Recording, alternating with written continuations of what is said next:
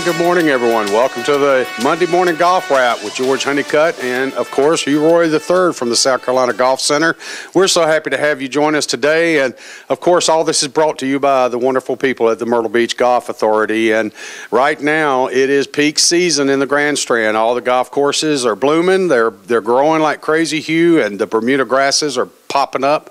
Uh, they're now worried about having to get out there enough with enough gas in each of the mowers to keep everything cut. So it's uh, almost like they can't keep up, George. Yeah, so it's an exciting time down here. All the golf courses they're filling up quick, but more importantly is is the lodging is filling up. So if you're looking to come down here to the Grand Strand, looking to to come down for a week of golf or a week of vacation or just a few days to enjoy the ocean and the other amenities that are here, contact the Myrtle Beach Golf Authority people. They'll get you in. They've got over 300 300 different rental units. They've got 100 golf courses to choose from, so they'll find the suit or the package that's best suited for you. So you can contact Kathy Ziegler, the golf director, or her assistant golf director, Karen Gilman, 888-272-7263. And of course, you can reach them on the internet at myrtlebeachgolf.com. That's myrtle-beachgolf.com. Hugh, how was your weekend, buddy?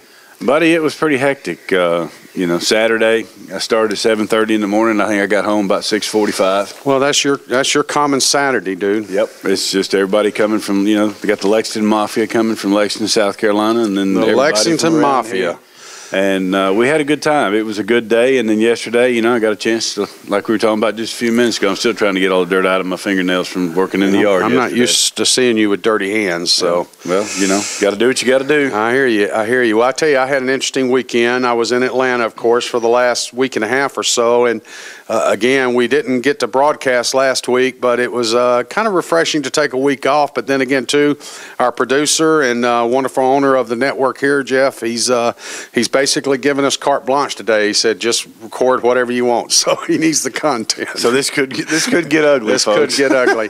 but uh, I played, um, of course, uh, saw a bunch of people that I haven't seen. Dave and, and Kaylin Lease, I ran into, interestingly, I pulled in the parking lot at White Oak Golf Club there in Newnan, Georgia, down in beautiful Coweta County. Coweta County, home of the Coggin. home of Yep. scattered, And- smothered, and- covered, and, and slice and dice. Yeah. Slice and dice. But however, Hugh, eh, strangely, I pulled into the parking lot the other day. I was just going to hit some balls, and uh, I look in the car beside of me, and I said, "Darn, you know how you see somebody and you say, I know him." Yeah. And this gentleman was sitting in his car eating a candy bar. And I got out, and, and lo and behold, he got out. I mean, if he would have stayed in his car and drove away, I would have never said anything to him. But the gentleman gets out, and I look at him. I said, Dave? And he goes, Well, yeah, who are you? And I said, George Honeycutt. And he goes, Oh my gosh, I haven't seen this man in 20 years. Wow. 20 years. I, I'm impressed that George's memory's that good, Jeff. I mean, well, that's true. Good point. But I I met him and his wonderful wife, one of the best ladies walking on the face of this earth, Miss Kay Lynn. I met them back in my military days, okay. and um, their their niece was married to my best bud, my best flying partner, and. Uh, uh, they've since gotten a divorce. I found out, and I it's I haven't seen or heard from any of them in, in minimum of 14 years, up to 20 years.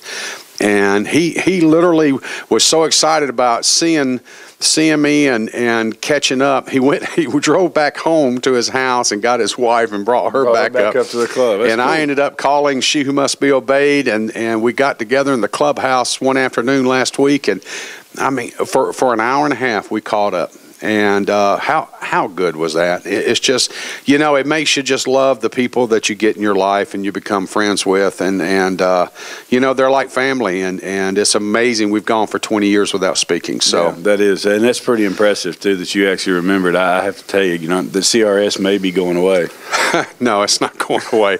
I took a pill that day. But uh, I want to do a shout out to Mr. Robert Collier. Uh, of course, Robert is a really, really good young golfer, and he is the assistant golf professional at White Oak Golf Course there in Coweta County. And uh, Robert uh, cut me of a skin the other day in the skins game. So I told Robert I'd give him a shout out for his little eagle that he got on number two on the old course at White Oak. So, Anytime you make an eagle, if you don't win us again, I'd be looking for pencils with a ratio. well, you know, where I was hitting driver three wood, three wood, five wood lob wedge, uh, Robert hit driver three iron and evidently stuck it into about 12 feet and then made the per- made the eagle putt to cut all the all the quote unquote birdies that everybody was thinking they were going to win money on on number two. So he wins the eagle there. I think it was worth like 380 or something like that. So congratulations to Robert. But he's not new to this winning stuff. So he's he's quite a young, uh, good player. So. Well, congratulations to him. Yeah, That's he's a, he's a nice guy. Works for Sean Renault. Sean, I've known for goodness 20 years plus. Sean was the head pro at Newnan Country Club, and then he went on to uh, other things at Arbor Springs. Uh, or as is as is referred to also as the Coweta Club, and uh, we get we we give Coweta a lot of prop today. But uh, uh, and now Sean is the head golf professional at White Oak. So I want to thank those two for having me out over the weekend. We had a lot of fun at White Oak. Uh, a lot of my old buds are there. So it's always good to get back and see Tony and D Rabideau and and uh, the group there, Double D, and and of course we always end up having to run into Coggin and and uh, Ryan Jr. or Slice and Dice, as you and I call him. So, but it's good to get back and play. And the golf course there, again, they've gone through a rough winter just like everybody else has, and it's now just starting to green up. But however, the greens themselves, uh, the Seminole side has Mini Verde. The Old Course side has Champions Bermuda, so uh, they're thriving. They're doing well, and uh, the go- courses as a whole was in very good shape, considering that they're just starting their growing season. Yeah. So we had a lot of fun. Well, Hugh, let's do our Monday morning golf wrap here. And of course, an exciting, interesting weekend in the world of golf is in the professional ranks, as a lot of our young players that are out there, professionals now, have either achieved their first win or have picked up their first win under the banner of the professional tour that they're under. And starting off, of course, is uh, a young man by the age of 22 years old ends up winning the Zurich Classic in New Orleans, and that's Sung, Seung-Yul Noh. And uh, Noh ends up winning at, uh, uh, like I said, uh, $1.224 million at 22 years old. Uh, the young man just basically went out, and with that little three quarter swing of his, Hugh, he, he, he seems to have that little low check and, and uh, stop I tell shot. you what, George, the kid's got some game. I mean, you look at him; he's got control of his golf swing, and he controls his golf ball very well. And that was obvious with the way the wind blew. Well, the wind blew yesterday really hard. Uh, a couple of times that you could even see the commentators out uh, walking the course with the players to where they were getting pushed back two or three steps with some of the gusts that were coming up. But uh, Seung-Yul Noh is uh, he went out there yesterday and just made a statement. He had a brief hiccup uh, on 15 and 16, recording his first bogeys. Interestingly, in three and a half days, but he ends up holding off the field that was uh, making a charge at him. And uh, interestingly, some of the names that uh, did come down the pike, of course, uh, Noh ends up winning with a 71, shooting 269.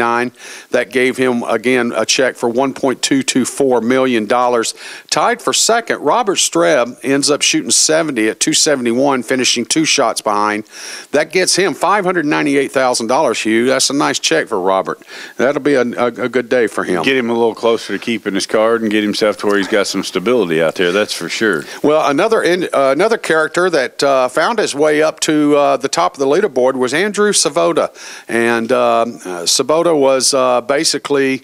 You know, he, he he's a journeyman. Actually, he's been out on the tour for 11 Yes. years. So uh, again, Andrew found himself at the top of the leaderboard after an opening day 64. So that really made a statement. Again, uh, Seung-Yul Noh also shot 65 on day one. So that put both of them at the top of the leaderboard. But then Andrew comes back with a 68 on Friday, a 70 on Saturday, and a 69 on Sunday.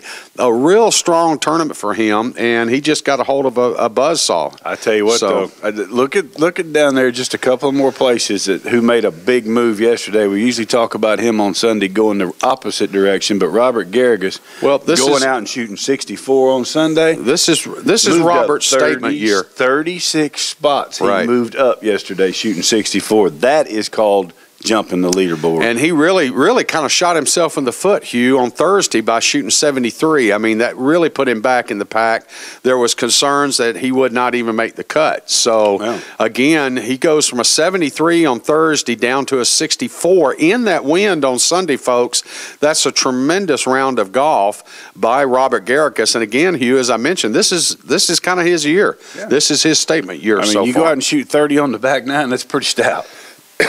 I mean, that's yeah. just that's just pure out golfing your ball. So. in, in that wind, and, and it was windy for the morning t- uh, pairings, just like it was for the Oh, yeah. afternoon I mean, they- pairings. when they were showing them warming up, you know, and they were showing Noh, you know, hitting some putts on the putting green. I mean, they could hardly. That poor kid, he's he's so skinny, he could hardly stand there. now tied tied with Robert in fifth place. Interestingly, since the haircut has seems to help tremendously, Charley Hoffman has another good event. Ties finished for fifth, two hundred and forty eight thousand dollars for he and Robert and Erik Compton. Which I, you know, Erik Compton, seeing him up there, that's big. I mean, this is a young man that's had two heart transplants, and you know, he's overcome a lot in his lifetime. And, and by golly, it's time for him to catch a break. Yeah, I agree. I agree. Uh, having both the transplants, uh, he's a walking miracle to begin No with. No question. In the fact that he can again go through the rehab after you have your chest cracked open once is hard enough, but having it cracked open twice and then having to come back from that and then still have the quality and the physical capability of being able to go out on the PGA tour and keep up with these guys, that's that's pretty amazing. That's a walking miracle And right just, there. And it just shows, you know, what it takes and, and how hard these guys work, you know, to get themselves out there and stay there. Well, again, making uh, somewhat of a third third day charge. Keegan Bradley was coming back up toward the leaders on the top of the leaderboard with a 65 on Saturday. However, again, as Keegan has demonstrated for the 2013-2014 wraparound season, he seems to have a problem finishing. And Hugh, I don't know what it is. I don't know if it's nerves. I don't know if it's just focus.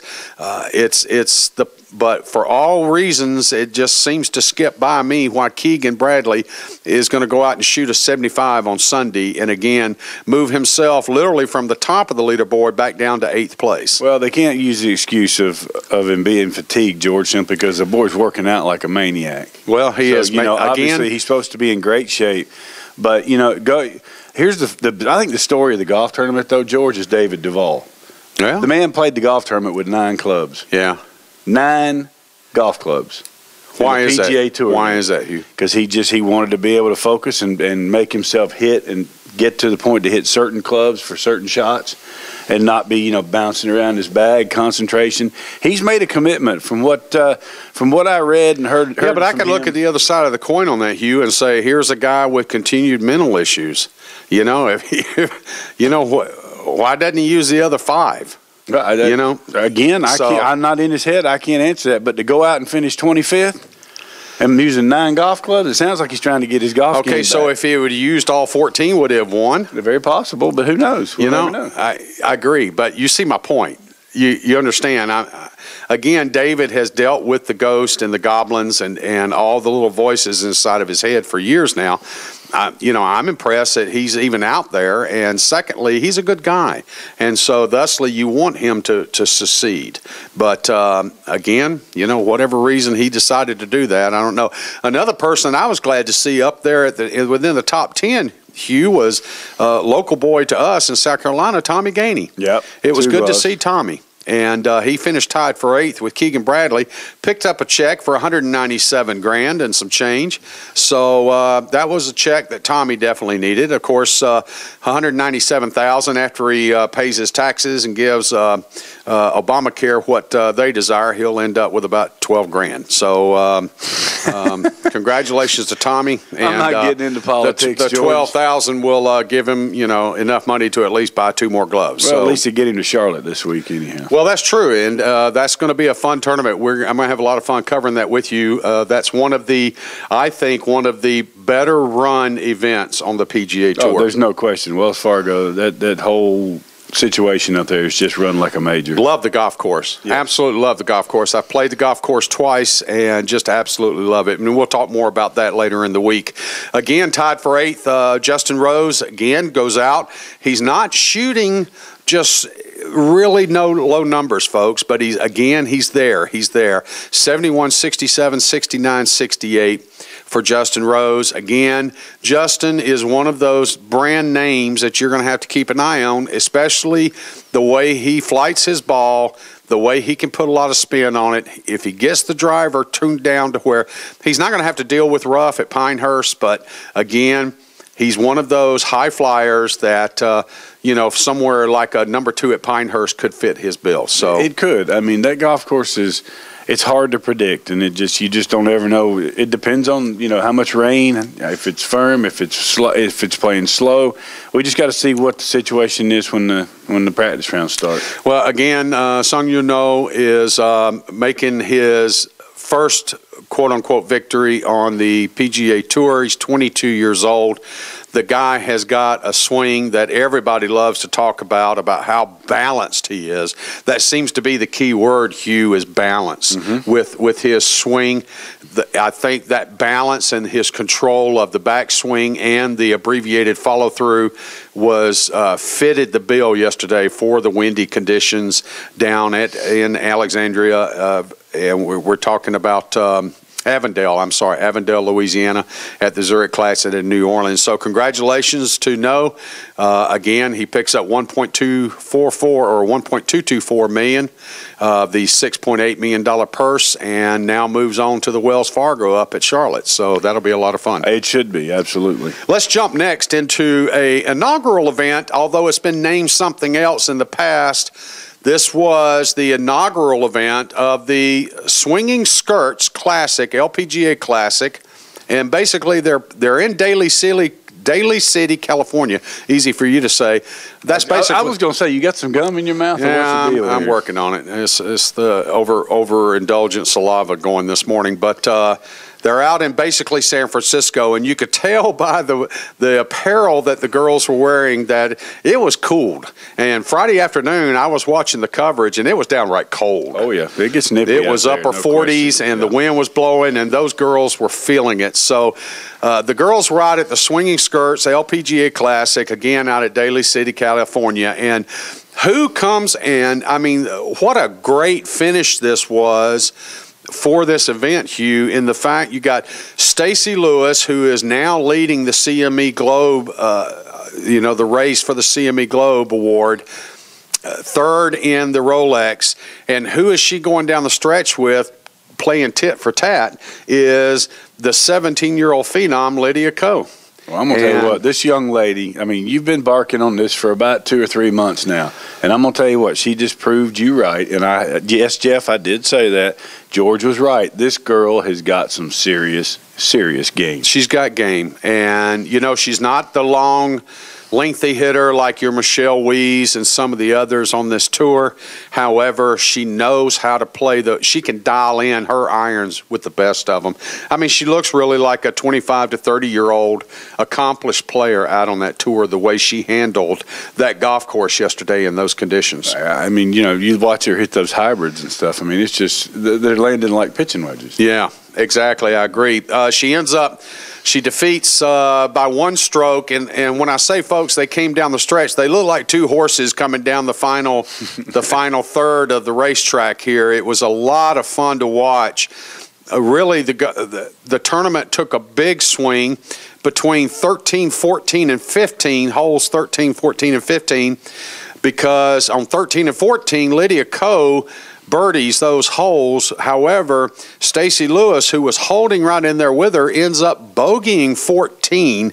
So at that point, there becomes a two shot swing. And then uh, they go to the next hole, the 15th and 16th hole, and they both birdie 16 and then coming down 17, Lydia Ko pars 17 and then makes a birdie on 18 to end up winning by one. Stacy Lewis definitely was doing what she needed to do, Hugh.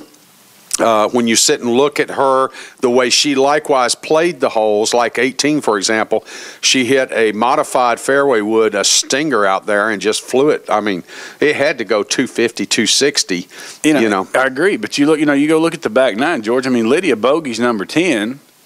You know, and then like you said, she birdied 13 and 14. She's got the two shot swing on 14, and then when Stacy birdied 16 and Stacy Birdie's 18, she just tops her on 18 and it's game over. Right. Right, but again, Lydia Ko on 18, I mean, I think was the, really the shot of the tournament. You, she's sitting in the rough and she's only about 60 yards away, but she's in the rough, really uh, not able to put a lot of impart a lot of spin on the ball when she's hitting her approach shot into 18.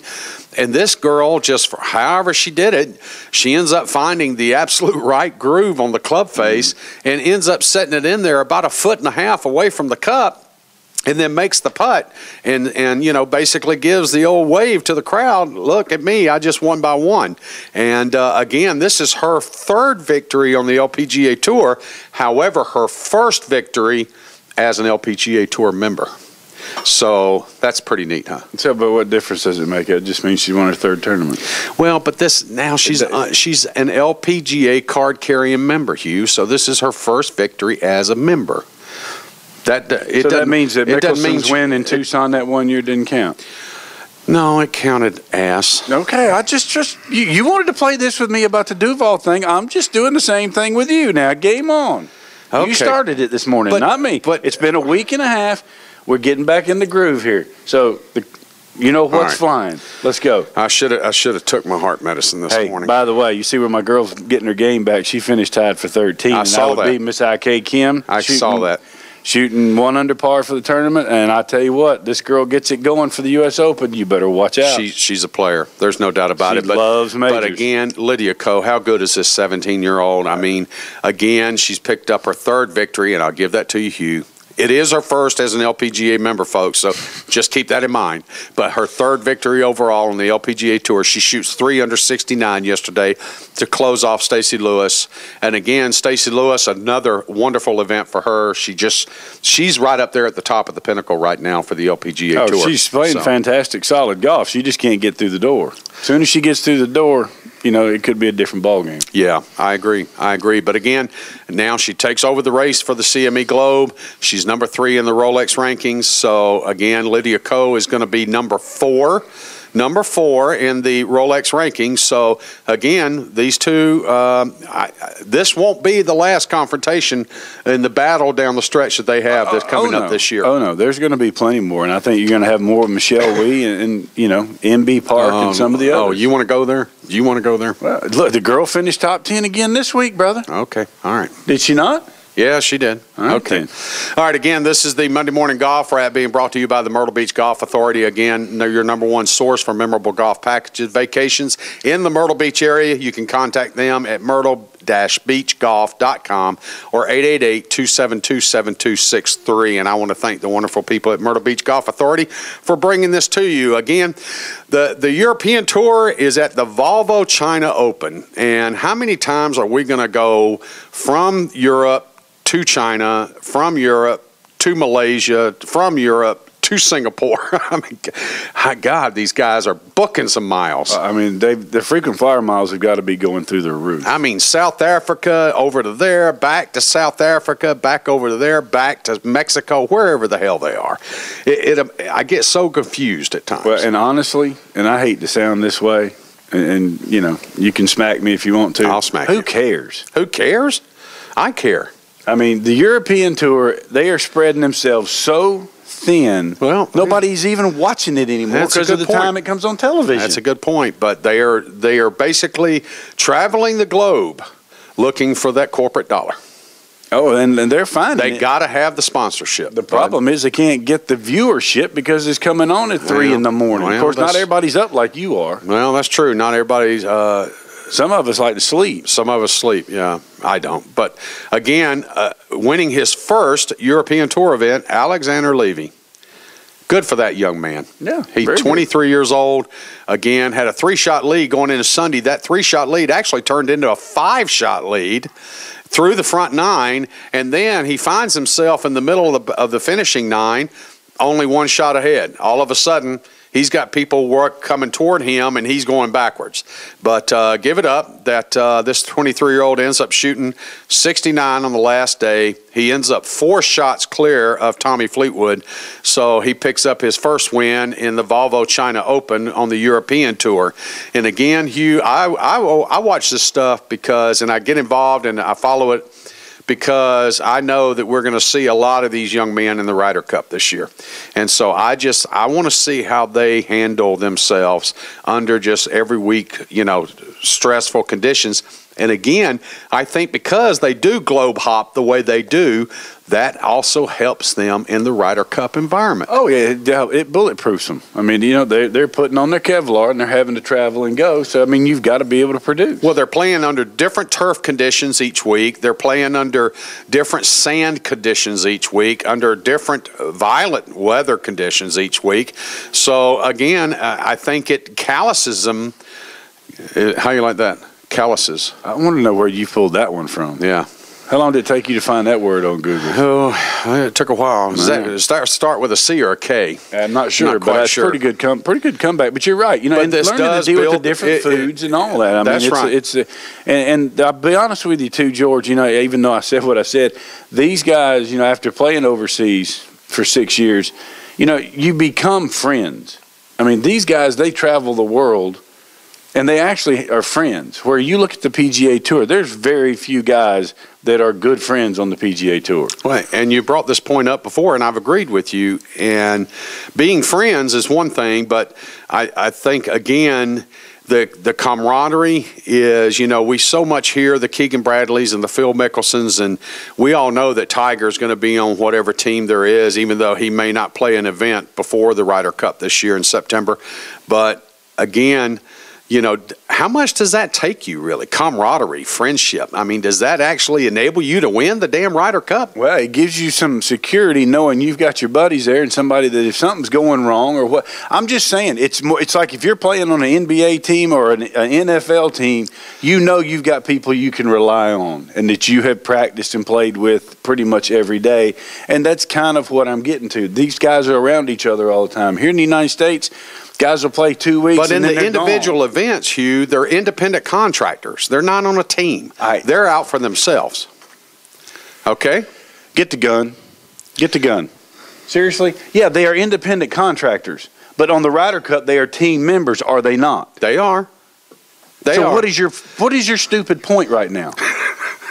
Seriously. so you're saying that in the off hours, in the practice rounds, and the travel back and forth each week, They're all going to dinner together. They're, go- hanging uh, out. They they know each other. okay, They know they know their families. They Exactly. know their they know their So their you get- strengths and their weaknesses. Yeah. Where the guys on the PGA Tour couldn't care less. They could give a rat's ass whether one person was there or not. Interesting. Except for Tiger. Yeah, and the fact is, they're talking he's going to try to play in the British Open, and the guy, if he was smart, would take the rest of the year off and get himself healthy and figure out how to stay healthy and get ready for next year. Because they're probably going to end up winding put. If he's not careful, he could put himself in a wheelchair. Yeah. You think it's that bad? I think it could Do be. you think it's that it's bad? not that bad right now, George, but it could be. Really? Yes. Okay. My opinion of this if he was to fire Sean Foley and to quit trying to be Mr. Olympia in his muscle building workouts and get back a little bit to, you know, just getting some soft tissue back into his body and being able to swing the way he used to swing, Like an athlete instead of a robot, yes, you are 100% correct. then his longevity would increase by two to three fold. Uh, and, the wins of the majors or wins in general and lack of injury would Where- go away. Tiger has gotten into the robot, and I can't believe we have turned this to a Tiger discussion. But you know, Jeff opened up this damn window. So the point is, is I, I agree with you one thousand percent. He's turned into a freaking robot. If he would learn to play with his freaking hands Mark again, it down.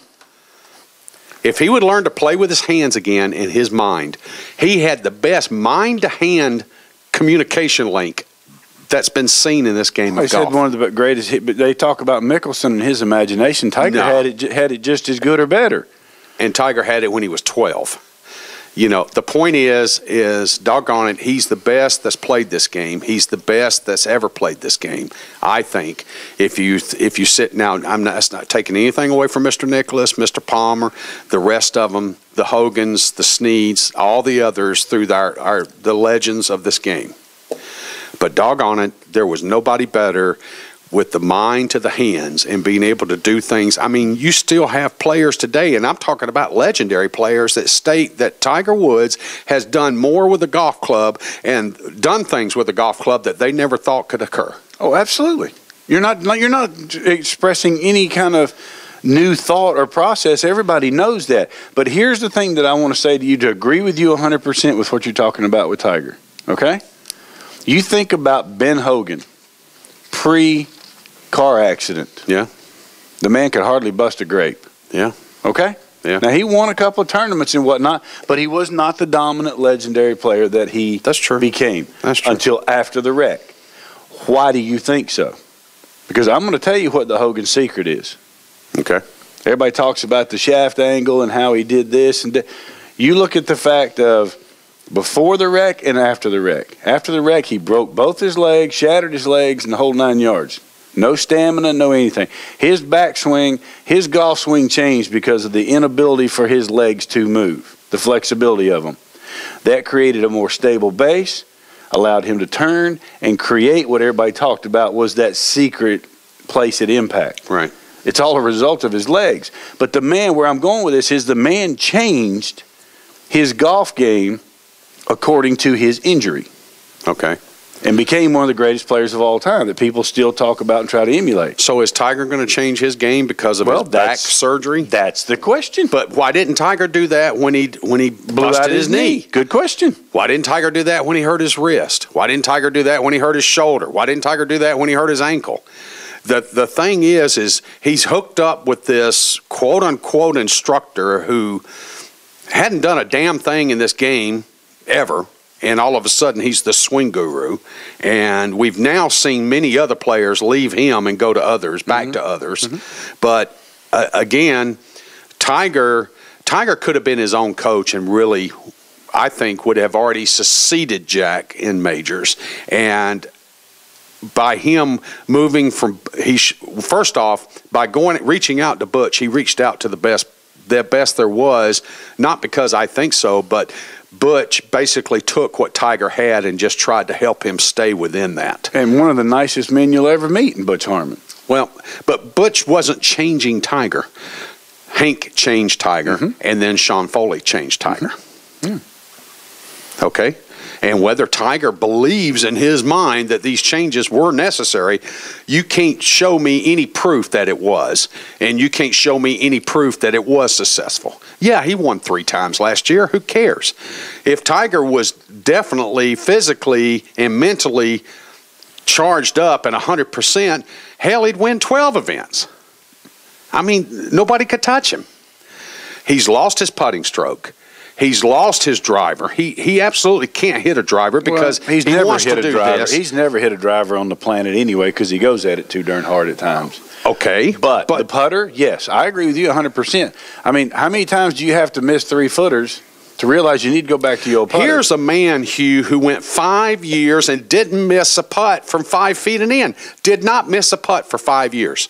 Especially when It's proven. It's in the record books. It's in the stats. Did not miss a putt in five years of five foot or less.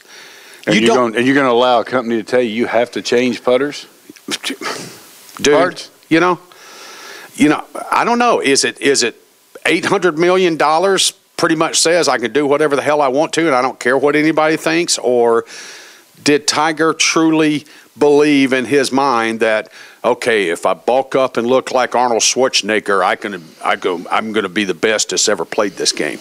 You know, I've I've sat and watched this downturn, and and tell me if you agree with this or not. And Jeff, I apologize. We're we're running long here. Okay. Look at the downturn in Tiger's personal life and his career. Mm-hmm. When did it start?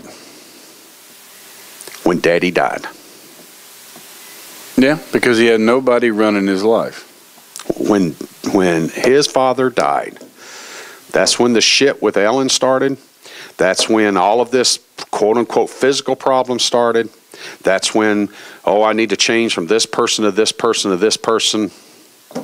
It all started when Earl died. Yeah. I mean, Earl And- ran his life. and Earl ran his life. That's right. He had that that you you've seen it. You've been there personally. You know. And the point is, whether yes. it's good or bad, I'm not saying it's either or.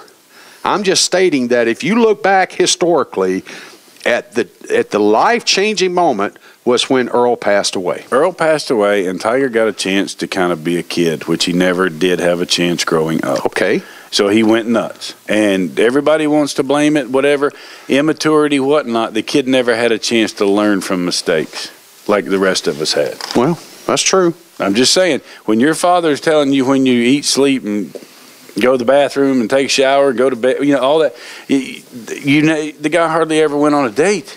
Yeah, I agree. And if he did, I- it was no, I- supervised. yeah, I so agree. when his dad died and he had a chance to go home, I mean, when you're on Johnny Carson at the age of three, you know things things change. Yeah, and, and it never changed after that. I mean, he just, it was always regimented, and he's always doing this, this, and this. So when his dad died, unfortunately, you know, you lose a parent, it's tough. But it's one of those things, he all of a sudden now, I got freedom. He went nuts. Well, he went nuts. Okay, but again, let's go back to his golf game. Does he feel like? And, and we'll, we'll put a stop to this, folks. I'm, we're rambling on, and I'm sorry we're boring you. Hopefully, we're not boring you with this, but you know, this is a conversation that Hugh and I've had off camera quite a many times, and it's just. It's gotten to the point with Tiger, he has the capability of becoming the best, greatest, no question about it, in the record books, everybody's opinion of all time.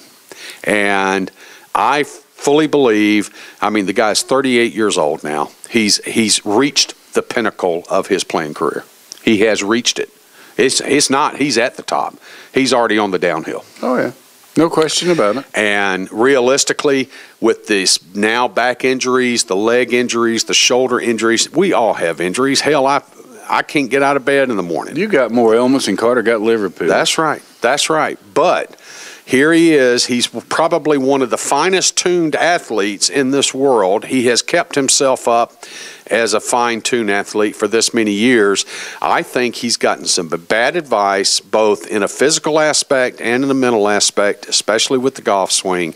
And until he goes back, and I think he needs to step back some some years. I think he needs to go back and just step back and go, okay, let's get back to the game where I had fun doing it.